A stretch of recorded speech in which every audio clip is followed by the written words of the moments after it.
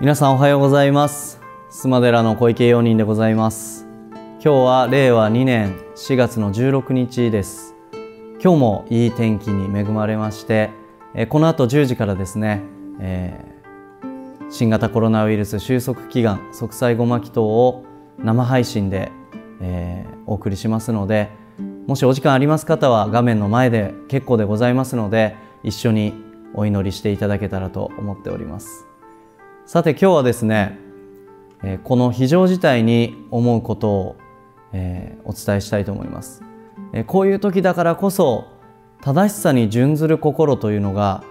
大切なんではないかなと思うんですね。でこの正しさというのが非常に難しいです。で、えー、我々はですね、えー、自分本位、えー、自分から見た視点で考えるとですねどうしてもこの正しさというのが、まあ、利己的に陥りやすいことがあるんじゃないかなと思うんですね。でこの日本人の昔からの信仰を考えた時に八百万の神と言われますようにもう天地自然全てにこの神が宿っていると考えていたわけですね。そして他の国の宗教であっても神の存在を考えたりですねあるいは私たちは仏教徒お坊さんですので仏の存在を常に感じるわけです。これはある意味で自分としての自分というかですね自分だけの視点ではなくて自分以外の視点を持つということなんだろうと思うんです。これが信仰の意味じゃないかなっていうふうに思うんですね。つまり、え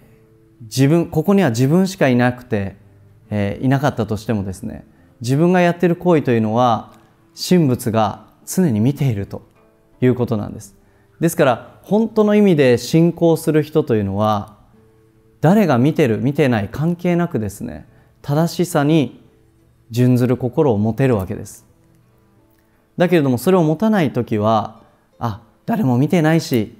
いいやとかですねバレなきゃいいやっていう考え方になるんですけれども信仰心の厚い方というのはそういう考え方には決してならないんですね。なぜならばごまかせないですね。仏さんが見ているということを信じていればそれはごまかせない。えー、これが信仰なんではないかなっていうふうに思うんです。ですから私は弘法大師様を信仰していますので、えー、常にですね私は今こう考えるけれども弘法大師さんが今ここにおられたらどのように考えてどのように行動されるだろうなそういうふうな視点を忘れないでいたい忘れないようにしようと心がけています。でこういう緊急事態非常事態だからこそ思うことですけれどもそういう自分以外の視座を持つ。そして信仰心ですね。何かを信仰するということはすごく、え自分の生きる正しさというものを堅固なものにしてくれるんではないかなっていうふうに思っております。えこういう時だからこそ祈る心、そして信仰する心というのを、その大切さをですね、皆様にもう一度考えていただきたいと思っております。